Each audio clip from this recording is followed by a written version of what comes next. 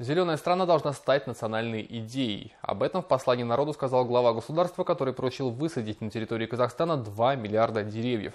В соответствии с данным поручением в нашей области разработан комплексный план воспроизводства лесов и лесоразведения. Об этом говорили на брифинге региональной службы коммуникаций. В первую очередь на территории Государственного лесного фонда области с 2021 по 2025 годы будут высажены лесные культуры на площади более 15 тысяч гектаров. Имеющиеся лесные насаждения расширятся еще на 6581 гектар. В целом планируется высадить более 56 миллионов саженцев в течение нескольких лет. Это очень большой объем работы при условии сохранения каждого нового дерева. Он кардинально изменит экологическую ситуацию в регионе. Проект уже запущен. На 2000 2021 год посадка лесных культур на территории Государственного лесного фонда запланирована на площади 900 гектаров и дополнение лесных культур на площади 450 гектаров. Весной текущего года коммунальными государственными учреждениями лесного хозяйства области на территории Государственного лесного фонда проведена посадка лесных культур на площади 311 гектар. Дополнение лесных культур на площади 273 гектара. При этом высажено 1328,9 тысяч сеянцев различных древесно-кустарниковых пород. Остальные объемы работ будут выполнены осенью текущего года.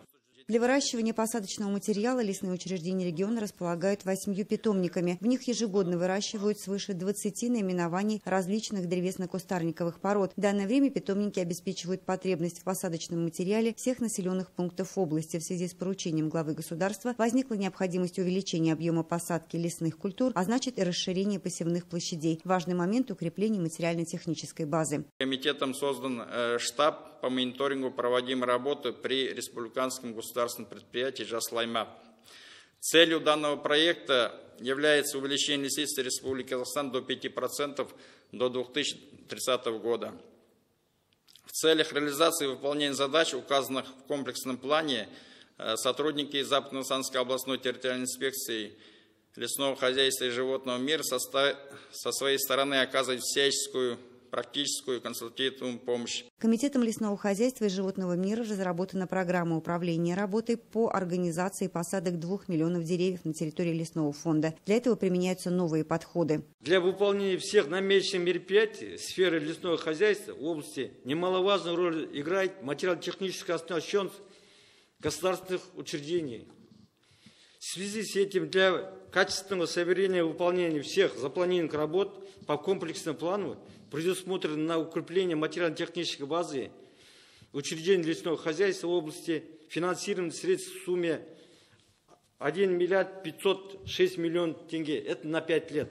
Новые посадки будут производить согласно рекомендациям специалистов. Это тополь, вяз, клен, осина. К работам привлекут всех желающих. Также на брифинге был поднят вопрос о статусе переволочной рощи. По словам спикеров, пока статус экологического уголка не изменился. Он находится на балансе территориальной инспекции по охране лесов и животного мира. В результате этой программы площадь лесного фонда только в нашей области увеличится с 900 гектар до почти 5000 всего за несколько лет. А в общем-то вот такие зеленые уголки может создавать каждая организация и каждый житель нашего города или области. Вот этим, например, елочкам всего-то 5 лет. Мы сажали их собственными руками, теперь дышим свежим воздухом и каждый день любуемся этой красотой. Екатерина Шмидт, Талгат Муратбаев, Дастан Уразбаев, телеканал Акжаик.